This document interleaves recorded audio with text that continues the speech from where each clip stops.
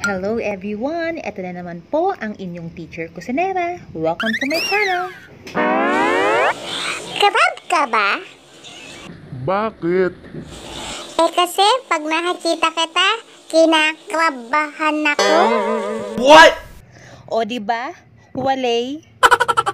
Tara, simulan na lang natin ang pagluluto.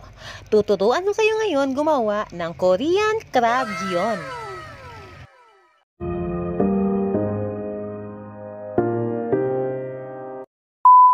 Para po sa ating mga ingredients ay ito ang mga kakailanganin natin.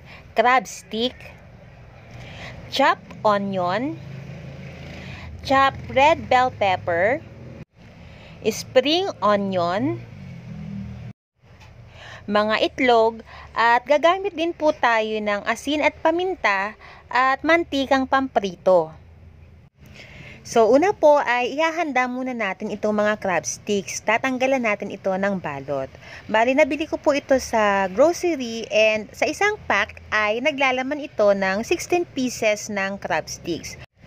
Dahil watery itong crab sticks natin, dahil lang galing ito sa freezer, ay pipigain natin ito para matanggal ang excess water. By the way po, ang crab sticks na ito ay imitation ng crab meat.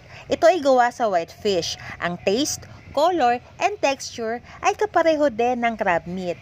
And cheaper ito compared sa totoong crab meat. Ngayon ay pagsasama-samahin na po natin ang lahat ng ating mga ingredients. Nasa description box po ang kumpletong listahan at sukat ng ating mga sangkap. Ganito lang po kasimple gumawa ng Korean crab gion. Alam niyo ba ang ibig sabihin ng salitang gion sa Korea? Trivia time!